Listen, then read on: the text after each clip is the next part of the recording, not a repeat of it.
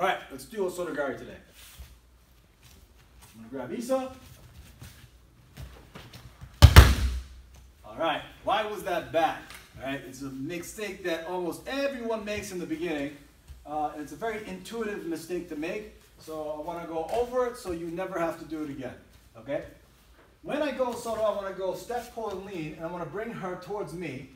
A lot of the times people want to sprint to this spot, so they sprint and pull their opponent this way. Okay? Uh, the dead giveaway here is Isa's head going away from the technique.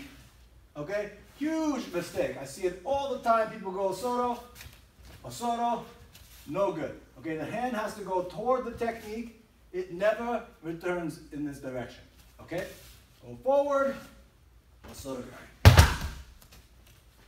Okay?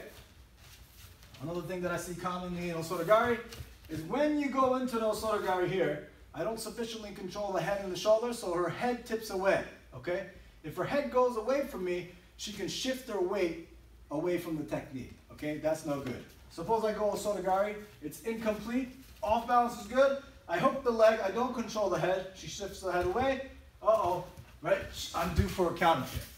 So once I go Osotogari, I want to keep controlling the head throughout the whole time, okay? Huge Osotogari, great. Shallow Osotogari, I control the head. Can you return your head? Nope. Osoto, oh! I have to finish head controlling the head. All right, did that.